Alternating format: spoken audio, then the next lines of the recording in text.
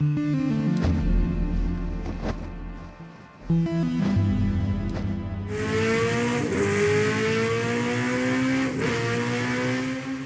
a shadow, a ghost, hunting the creatures that lurk, the ones who think they can outrun me, but they can't.